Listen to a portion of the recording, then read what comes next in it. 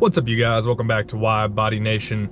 Today we are going over the Car-Lock OBD2 GPS tracker with the app on my phone as well. Obviously a lot of YouTubers and uh, other influencers have a lot to say about this product. Again, it's the Car-Lock OBD2 tracker.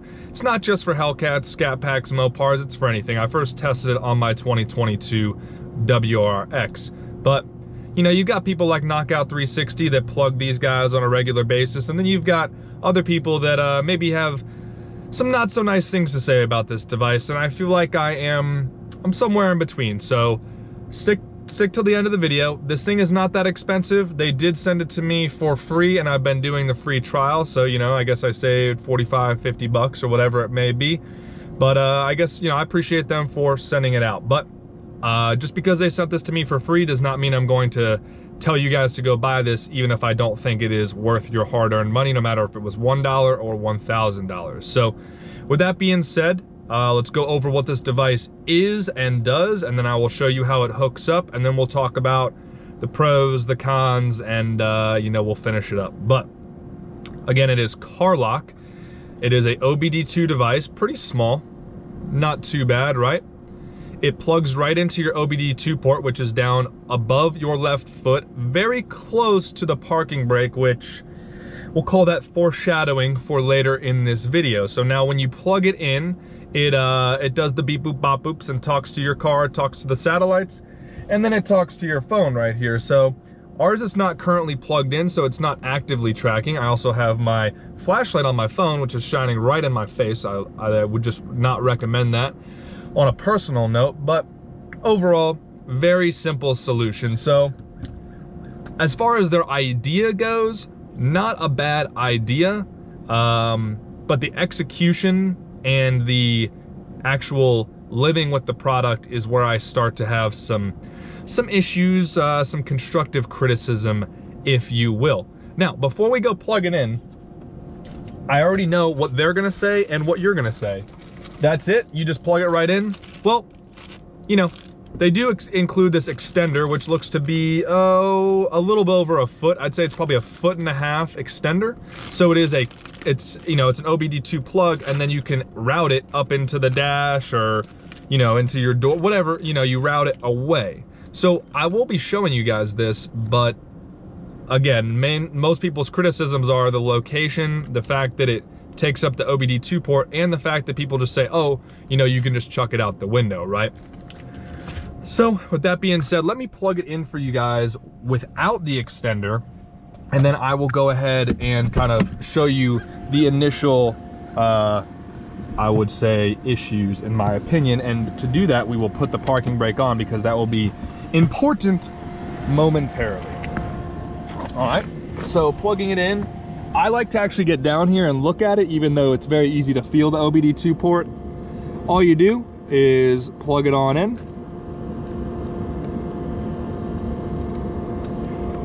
And boom.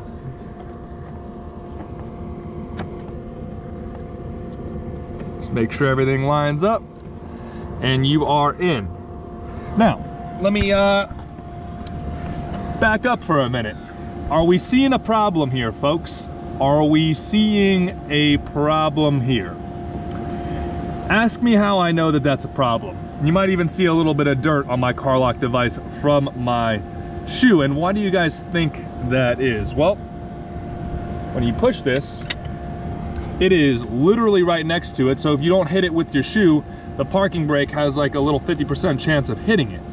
Now, the extender over here I'll go ahead and take that out of the bag right here. Let's see if I can do this with uh, basically just one hand.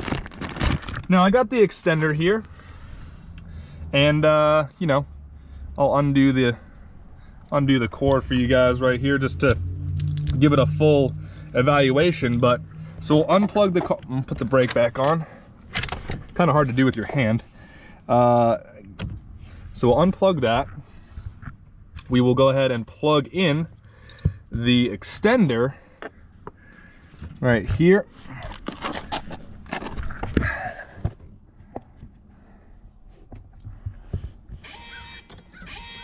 There you go, you guys heard it. It just is unlock or it's uh, alarming my phone. So their app is not bad.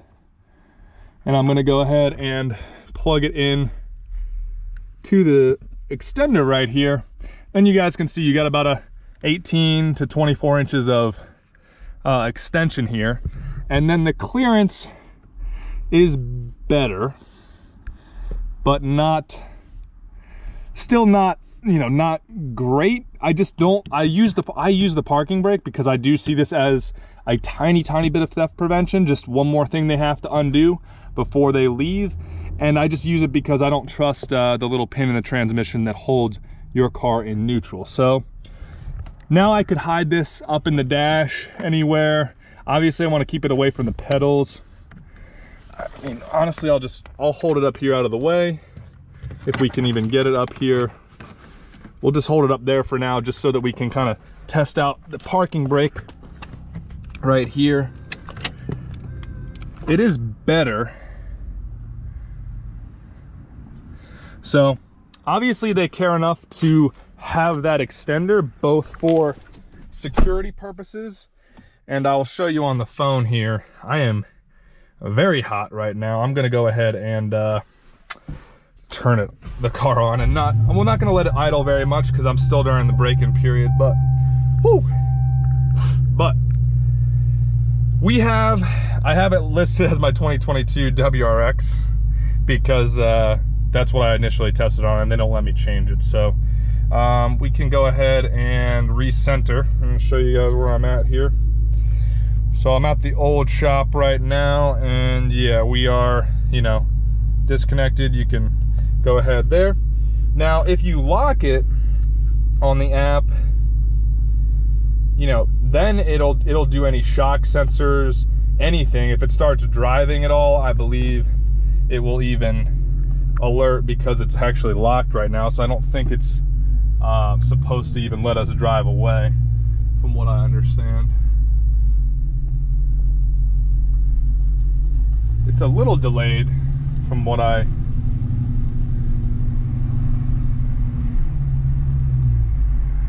but I didn't even have it locked uh, on the app and it gave me the uh, the code there. So let's go ahead and drive drive away and we'll see if it alerts us. Drive outside the radius here.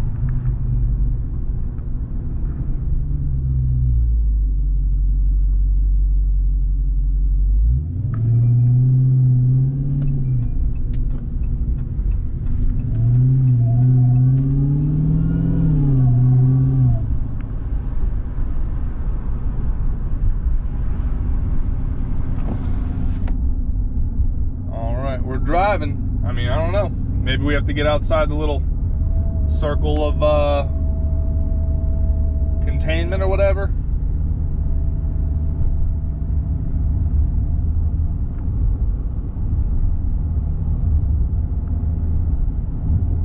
Let's see.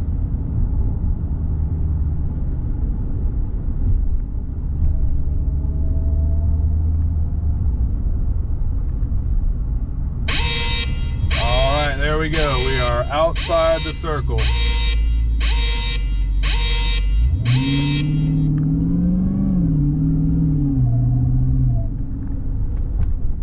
So, as you guys can see, it does work. Um, you know, is it is it foolproof? Is it foolproof and foolproof? Is it the best device ever? Uh, I would say no, obviously it's not like some 600 or a thousand dollar or embedded alarm system like maybe like a Corvette or something has, but it does the job, folks. I, I'm kind of, I'm kind of, well, it's, it's a good and a bad thing that I, you know, accidentally kicked it out of the OBD2 port the first time I used it because obviously that is a common concern. So if you guys do ever get this thing, I would highly recommend that you never ever plug it into the OBD2 port without the extender I just have it up here right now to go ahead and keep it out of the way. But, you know, I, you guys already saw on the phone, it tracks you. It, uh, you know, it gives you alerts if it's unplugged, which I think is the biggest thing, honestly. It's not necessarily the tracking, because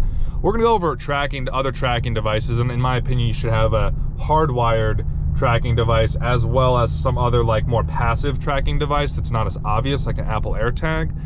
But, you know, for 50 bucks, and then it's, I think there's a monthly subscription as well. Um, you know, it's, it's take it or leave it. They, sent it to me for free, so I'll probably use it as long as I don't have any more issues with it and like it was nice that it was free.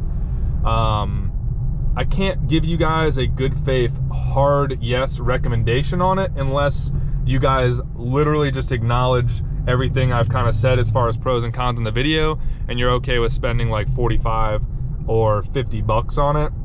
And then whatever the monthly fee is after the free trial, I think it might be like 10 or 15 bucks a month. I can't remember. Maybe I'll, uh, in the editing process, I'll, uh, I'll edit over this and, and I'll just put an asterisk over my dumb voice. But it, it has a, a shock sensor for like a shock or a tilt sensor so that if your car is jacked up or put on a trailer or a tow truck, it goes off. Um, it obviously has the, the GPS tracking when it's plugged in and it kind of even if they unplug it it'll give you like a, a, last known location before they unplugged it can track speed and you can actually uh, like put geo fences in the app from what i understand but it is a very simple simple device in a very simple and obvious location i mean the obd2 port is one of the easiest places to check for a device and also is a place where you do need the OBD2 port like when you go into the shop as well. Not that it's a big deal. I mean, you could take it out of there before you even go to the shop so you're not getting all the crazy notifications on your phone like this or, or nothing like that. But, um, you know, I guess we'll go ahead and unlock it real quick just so we can stop the madness.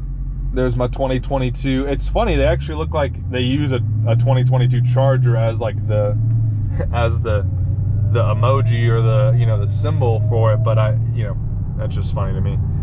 So let me know what you guys think. Um, again we just reviewed the carlock i mean i have it right up here. So we're reviewing the carlock obd2 tracker right here. Uh, i have the extender on it which is which is better you know it's not i'm feeling it again let's see yeah i mean it's more or less out of the way at this point um, the only problem is just, you know, with, with my feet being down there, if you do kick it out, especially if you do it multiple times, I just get worried that the OBD2 port is gonna get jacked up. Now, um, it looks like you can replace the port pretty easily from what I just saw, because mine even has like a tiny bit of issue now. Like, I think it's just plastic got a little bit scratched, but didn't break or nothing, but just very concerning to me with a brand new car uh, in some ways, but I guess they could just blame that on me as a idiot with big feet or, or, or whatever it may be. And, uh, you know, I guess they probably don't factor in that there's still a lot of foot parking brakes here in the car industry. But we are rolling by Gary Mathews Motors, which is the dealership that is responsible for uh, telling me incorrect information about my vehicle tracker, my Mopar EVTS. They told me that it could not be transferred to my Red Eye and then uh, my red eye was stolen. So I appreciate y'all's, uh, you know, just general incompetence, Gary Mathews Motors. Uh, but you know, maybe we'll do business in the future, and you guys can compensate me appropriately. But that's about all I got for you guys. We are gonna go ahead and um, stop off back at the gym. I probably should continue my workout, but I was just getting getting all wound up because I finally wanted to review the car lock. But oh, one more thing, one more thing. So, on the Subaru, which apparently this is a known problem, my mechanic uh, and friend and fellow YouTuber Tommy Kentner was telling me that on the Subarus, a lot of these OBD2 products, a lot of them trigger the check engine light, which it did trigger the check engine light on my Subaru. I will let you guys know in a follow-up video on the car lock if it does trigger my check engine light for uh, for this 2022 jailbreak. But I am hoping, I'm hoping that since Dodge is such an old design and it's so, uh, you know, so such a dumb, dumb old car design that it doesn't do anything. I'm just hoping that the Subaru is like finicky or something. But with that being said, I hope you guys appreciate the raw honesty and the, you know, just general candor here with this device. Um, that is really what I'm trying to bring you guys. And uh, obviously I have a lot more emotionally invested in this product right here, the neutral strap cover from destroyer1320.com. This is the device that we came up with to prevent the neutral strap from being pulled on your car and then your car from being presumably towed away like my uh, 2021 red eye was in Dallas, Texas. I only had that car for two months and it was stolen and never recovered because Uconnect is garbage. But if you guys want to go ahead and get that before the prices go up, uh, my discount code is WBN on destroyer1320.com. That is the best discount code out there. And hopefully this police officer over here doesn't pull me over since I'm driving like the most stolen, the most pulled over car, and just generally the most high vis car on the planet. But with all that being said, appreciate y'all for tuning in. Stay safe out there, and I'll see you guys for the next video.